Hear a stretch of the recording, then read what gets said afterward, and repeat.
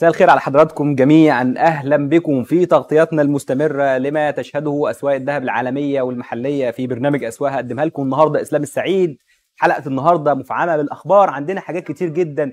أسبوع كان مليان بالأحداث اللي أثرت على أسعار الذهب بصورة كبيرة جدا. عندنا أزمات كبيرة في الاقتصاد العالمي تسببت في ارتفاع أسعار الذهب بصورة غير مسبوقة. وأنا بكلم حضراتكم ارتفاعات تسجل اعلى مستوياتها منذ مايو 2021 بنتكلم عن صعود مستمر للذهب خلال 72 ساعة بمستويات ربما هي الأعلى من ست شهور. في حلقة النهارده هنتعرف على أسباب هذا الصعود في أسعار الذهب عالميا وفي السوق المحلي وهنعرف كمان توجهات السوق الفترة اللي جاية رايح فين وكمان هنعمل إحالة ونعيد كده كام جملة قلناهم من حلقات سابقة. عن توقعات أسعار الذهب وقد إيه كانت فيها جزء كبير من الصحة وجزء كبير كمان اتغير نتيجة بعض البيانات الاقتصادية في الولايات المتحدة الأمريكية منها ارتفاع التضخم خلال شهر أكتوبر الماضي في أمريكا بنسبة تصل إلى 6.2%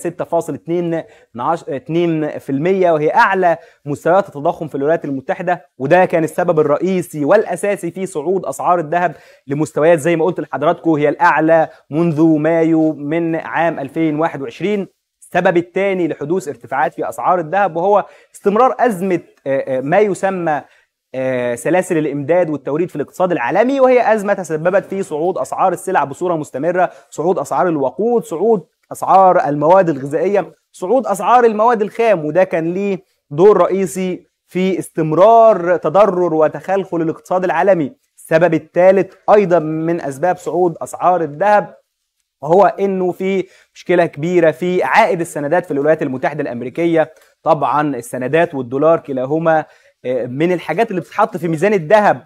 وطبعا كان في تغير في أسعار السندات ومن ثم حصل ارتفاع في أسعار الذهب.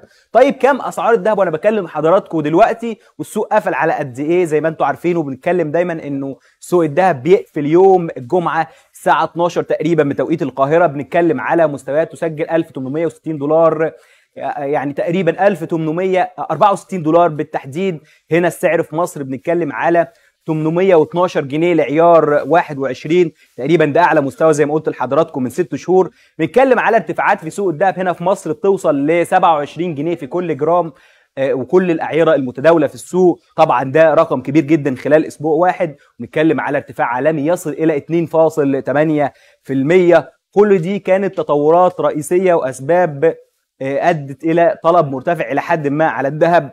طبعا ولو رجعنا لحجم الطلب على الذهب من بداية السنة دي لحد دلوقتي المصريين اشتروا أكتر من 22 طن ذهب وده رقم كبير جدا بنسبة ارتفاع تسجل 51% قياسا على الفترة المماثلة من العام الماضي بنتكلم على أول تسع شهور فقط. اذا في طلب مرتفع على الذهب. وتاكيدا هو طلب مرتفع على الذهب الخام في صورته الأولية اللي بنسميها سبائك. وطبعا في ناس بتشتري جنيهات المشغولات طلب أقل في الفترة المذكورة.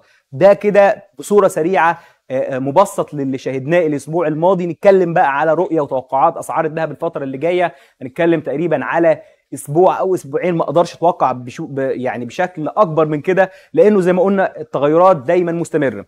قبل ما أروح على توقعات اسعار الذهب الفترة اللي جاية هنشوف السعر دلوقتي في مصر زي ما قلت لحضراتكم 812 جنيه لعيار 21 و696 جنيه لعيار 18 بالتأكيد الأسعار دي مرتفعة وقد تقلل الطلب على الذهب لأنه ارتفاع الأسعار بيؤدي إلى تراجع إلى حد ما في الطلب هنا في مصر لأن المستهلك بيشوف إن السعر مرتفع ومن ثم ممكن يصبر علشان نرجع تاني لمستويات 780 جنيه أو 775 جنيه لعيار 21 توقعات. هنرجع لحلقة الشهر الماضي اتكلمنا فيها هل ينهار الذهب خلال نوفمبر؟ وكنا قلنا إنه الذهب في حالة إنه مجلس الاحتياطي الفيدرالي الأمريكي أعلن رفع أسعار الفايدة فإن الذهب هينهار خلال شهر نوفمبر اللي إحنا فيه. طب حصل العكس ليه بقى؟ والذهب بدل ما ينهار حصل فيه ارتفاعات كبيرة حصل شيء غير متوقع وهو أزمة التضخم العالمية وصلت الصعود. أزمة التضخم في الولايات المتحدة بشكل منفرد سج... سجلت أسعار التضخم مستويات هي الأعلى من 30 سنة. زي ما قلت في بداية الحلقة بنتكلم على مستويات 6.2% تقريبا ده رقم. هو الأعلى في الولايات المتحدة الأمريكية من حوالي 30 سنة وأعلى وتيرة صعود في التضخم. يعني إيه التضخم للناس اللي مش فاهمة؟ يعني ارتفاع مستوى أسعار السلع والخدمات في أي سوق ويقابله ثبات فيما يسمى الدخول أو دخول الأفراد. وهنا بيحصل حلل خلل في الأسواق وده بيكون سبب رئيسي في ارتفاع الطلب على الملاذات الآمنة وعلى رأسها الذهب. زي ما قلنا إنه الذهب الملاذ الآمن الرئيسي في الأسواق لما بيحصل زي زي ما بنتكلم دايما ارتفاع التضخم أو حدوث أزمة في أسعار العملات بنلاقي الناس تلجأ إلى شراء الذهب وده اللي حصل تقريبا الأسبوع الماضي. وفوجئنا بارتفاعات كبيرة جدا في أسعار الذهب. تقريبا كنا بنتكلم على مستويات 1780 دولار. دلوقتي بنتكلم على مستويات 1864 دولار. ده رقم مرتفع جدا. فالناس اللي كانت حائزة للذهب حققت مكاسب كبيرة جدا. الفترة اللي جاية توقعات تشير إلى إمكانية استمرار الصعود في حالة إنه الولايات المتحدة الأمريكية حافظت على مستويات أسعار الفائدة عند وضعها الحالي. فبنتكلم على استمرار صعود في الأسعار. طيب مع ارتفاع موجة التضخم في الولايات المتحدة الأمريكية بعض الخبراء وبنوك الاستثمار والشركات المهتمة بتحليل البيانات الخاصة بأسواق الذهب والمعادن الثمينة والأسواق المختلفة. بيقولوا إنه في حالة استمرار صعود الذهب لازم البنك الفيدرالي الأمريكي يتدخل فيما يسمى رفع أسعار الفايدة لأن آه، سعر الفايدة هي الوسيلة التي تستخدمها البنوك المركزية في التحكم فيما يسمى التضخم. طبعا لو حصل أي ارتفاع في أسعار الفائدة في الولايات المتحدة الأمريكية ولو ربع نقطة هنلاقي الذهب ينهار ويخسر كل المكاسب اللي حققها. بنتكلم عن خسائر هتتجاوز 100 دولار. طبعا ما نعتقدش إنه في هذا الشهر هيتم رفع للفائدة. يبقى ربما في الاجتماع المرتقب للبنك الفيدرالي الأمريكي هنلاقي تلميحات وإشارات بخفض آه، آسف برفع أسعار الفائدة. ولو ده حصل افتكروا كلامي كويس في حلقة النهارده.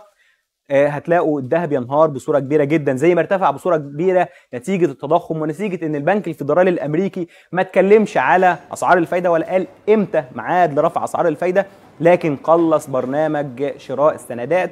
وده كان ليه انعكاس في الأسبوعين اللي فاتوا لو تفتكروا لما الذهب نزل لمستويات كبيرة جدا وخسرنا حوالي 30 دولار في السوق. نتيجة كلمة واحدة بس إن هو هيقلص برنامج شراء السندات وده طبعا مش عايزين نخش في تفاصيله لأنه تفاصيل فنية وصعبة جدا. إحنا نحاول نشرحها للمستهلك. خلاصة إيه السوق رايح فين الأيام اللي جاية؟ بنتكلم على ارتفاعات أقصى مستوى ليها هيكون 827 جنيه. ده أول مستوى للذهب هيقابله خلال الأيام اللي جاية. فإحنا بنتكلم على ارتفاعات من من 812 جنيه إلى 827 جنيه في حالة الصعود. وطبعا كفه العيره بتتحرك غالبا بنفس النسبة يعني احسب من 812 لحد 27 هتلاقي نفس الزيادة في عيار 18 والزيادة نفسها في عيار 24 طبعا الجنيه الذهب تضرب الزيادة دي في 8 هتلاقي سعر الجنيه الذهب وقتها. توقعاتنا بإن الارتفاع مستمر ما لم يتدخل البنك الفيدرالي الأمريكي بإعلان ولو بيان أو تصريح أو تلميح حتى عن موعد رفع الفائدة في الولايات المتحدة وقتها هنلاقي الذهب يتراجع. وإحنا طبعا الأسبوع ده رغم الصعود الكبير كانت الأسعار أيضا تراجعت إلى مستويات 1844 دولار لكنها مع الإغلاق أمس الجمعة ارتفعت إلى مستويات 1864 دولار. معلش حلقة النهارده كان فيها بيانات كتير وفيها كلام كتير على التضخم العالمي.